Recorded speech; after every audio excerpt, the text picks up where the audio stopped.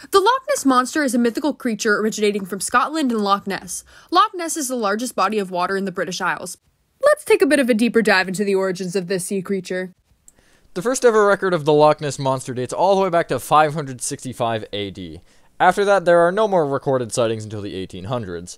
Interest in the Loch Ness Monster, dubbed Nessie, really kicked off in the 1930s, though.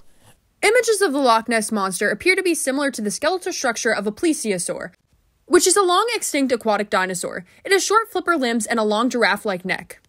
Now, whether Nessie is real is a mystery. Scientists sonar scanned the Loch Ness area and found no creatures that match Nessie's appearance. However, there is always a chance.